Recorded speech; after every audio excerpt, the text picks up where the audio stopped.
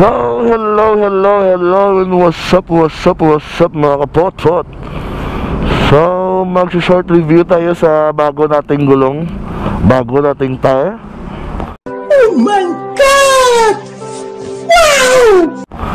Um, Magpalit tayo ng tire mga kapot-pot Kasi masyadong luma na yung tire natin So, before natin ipapatuloy muna itong video natin Ipasok ang intro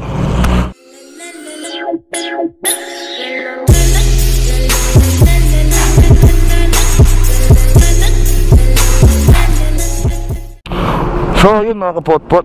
Yun nga sabi ko kanina bago yung tire natin. Ito. Um, before natin ipapatuloy, ito muna.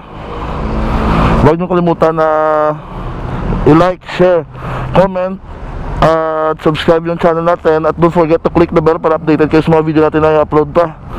So, yung gamit natin na tire mga kapot-pot, ito. Michelin. Ayan, Michelin Pilot Street. Ito yung bago nating tire. Almost 2 days lang to sa almost 2 days lang to sa akin. Kaya di ko pa siya masyadong na break in. Kaya siguro masyadong madulas pa ito. Ayun, Michelin. Yung stock tire natin sa sa sa anong tawag doon? Sa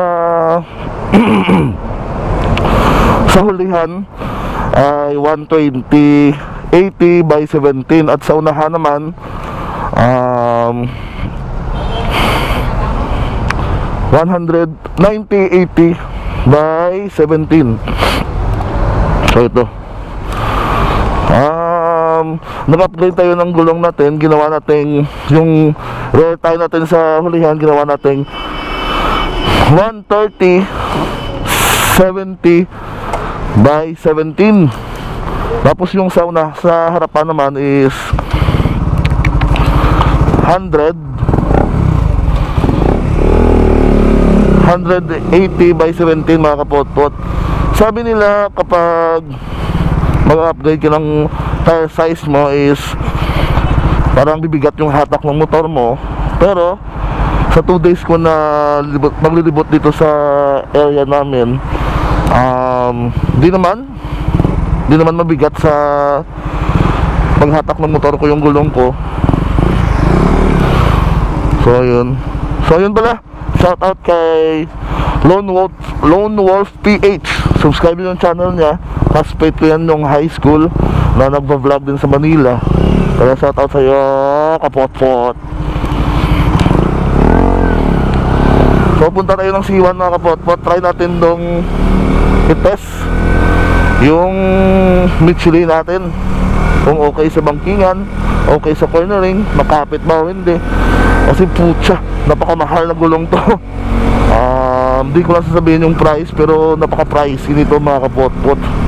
Them maubos yung isang sweldo ko dito sa gulong na to. So alam niyo mga kapot-pot wala akong masyadong alam sa sa pagre-review ng mga bagay-bagay ako about sa motor. Pero siguro sasabihin ko na lang yung experience ko ba? Experience ko sa paggamit ko ng gulong na to o sa paggamit ko ng motor ko. Based on my experience di ba? Kaya to itatry natin tong Michelin kung ano yung ano yung maibibigay na na performance sa motor natin sa pagra-ride natin. So punta tayo ng C1 mga kapot-pot.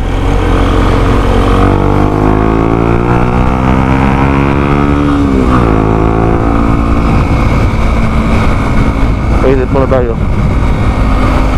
I don't know kung may namimitik lang sa C1 Pero kahapon nandun ako ang daming namimitik. So coffee coffee lang tayo doon Konting tambay lang, konting review lang sa new, new tire natin.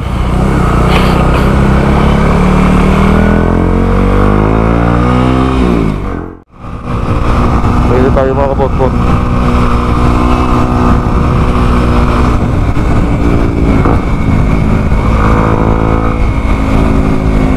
Masyadong kwanta masyadong slippery pa yung gulong natin kasi yung bago pa.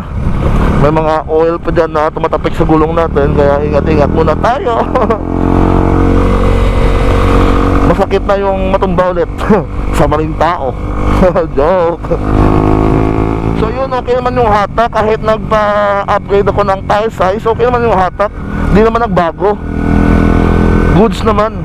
Di naman masig di naman mabigat sa masyado sa motor kaya wala akong neg- negative comment about sa pag pag-upgrade ng tire size nyo.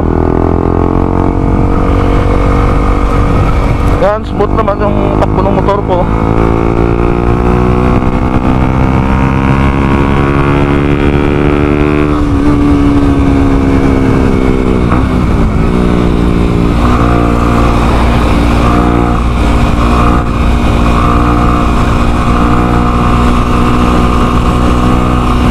Yan.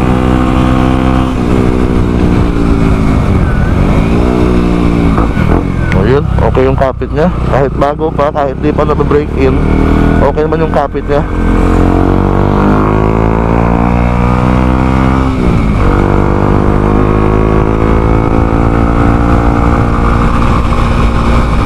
At yun pala, shoutout kay Lone Wolf PH. Um, high school classmate ko yan yung hi- high school classmate ko yan na nagva-vlog din ngayon. Um, doon sa sa Manila. Subscribe nyo yung channel niya, mga kapotpot. Then shoutout sa mga kaklase ko dyan nung high school. Nagagalit sila kasi hindi ko sila sila shoutout sa mga sa mga vlog ko dati. Kaya yun, shoutout sa inyo, Gerald Pares, Poras, ayun, shoutout sa inyo, Dan Adrian, shoutout, shoutout lahat sa inyo. Um, I hope na balang araw magsama-sama tayo sa isang ride. Kasi halos lahat ng mga kakrasing namin mga motor na kahiligan nila magmotor. Kaya yun. Uy, walang tao mga kapot-pot.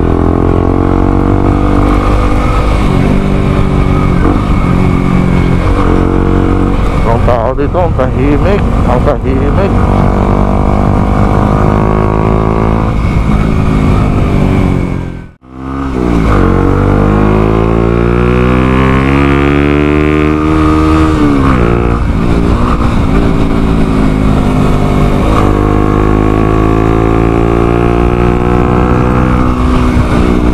Yun.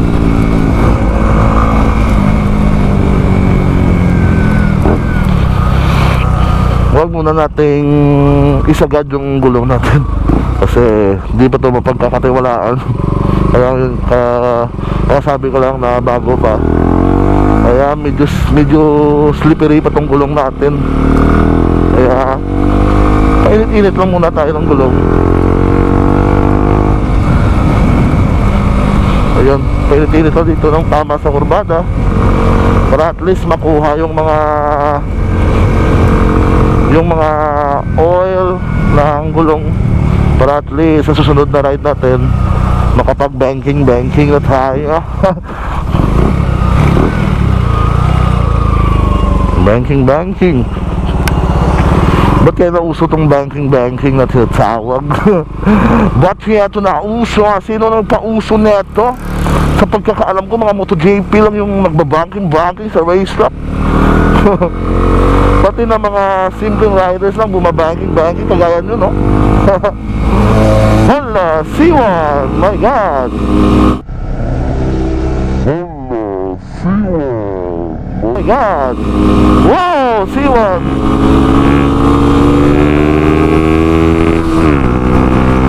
Woo, C1! Yay!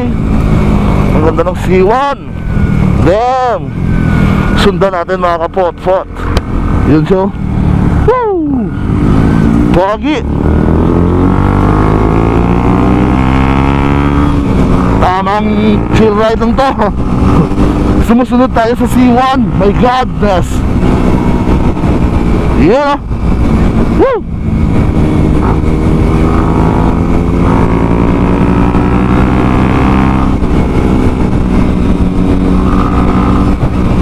Tamang sunod lang sa C1 mga kapot-pot. Habang Nire-review natin yung tayo natin Habang Oh!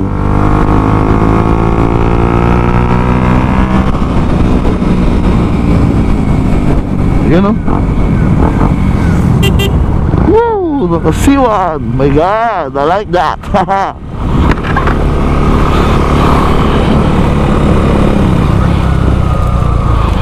ano kaya yung feeling na sumasakay ka sa 1000cc sa mga big bike na motor mga kapot-pot no? Gusto kong maranasan yan. Sana na mag-sponsor!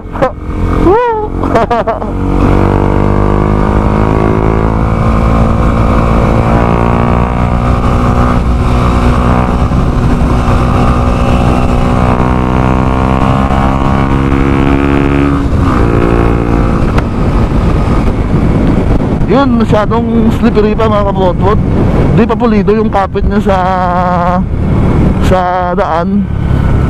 Kaya natakot ako masyadong ihiga.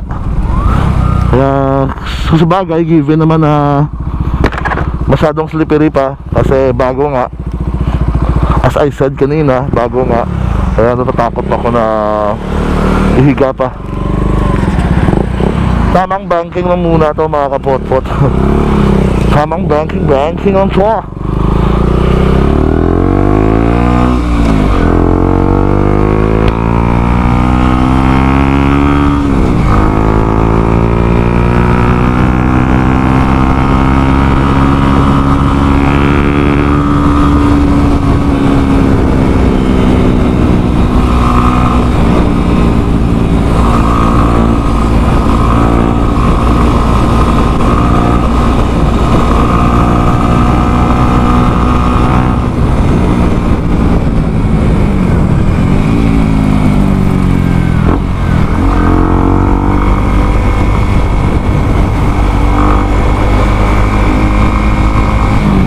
C1?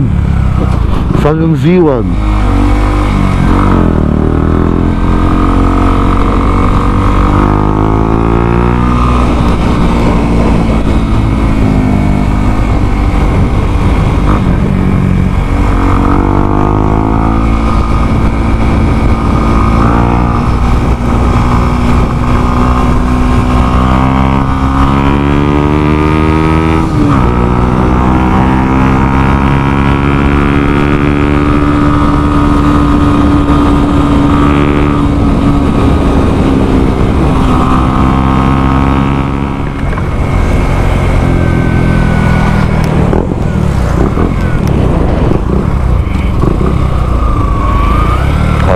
Ito, ito pala yung C1 naka-SC project na dual.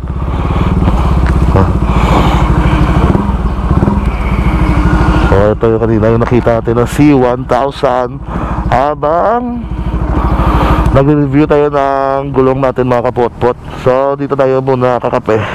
For the meantime. So see you later. So yun mga kapotpot. Na natin mag coffee coffee so yun. Back to topic tayo mga kapotpot. Back to topic tayo. Yun kasama ko si ah, ang kaibigan ko naka sniper. Naka sniper 155 ayun latest version ng sniper. Sabi ni sabi daw nila naka R50 na makina yan. Yan yung latest version yung 2021 ng sniper So, yun, back to topic tayo. So, impression ko sa Michelin na to. Um, yun nga, kasi given na, given na na masyadong madulas pa sa ngayon, kasi bago pa, masyadong slippery pa yung gulong. Kaya, let's try. Tignan natin sa mga susunod na vlog natin kung na-break in na kapag na-break in na natin ang maganda tong gulong natin tignan natin sa cornering kung pasado o hindi. Diba? Ang bilis niya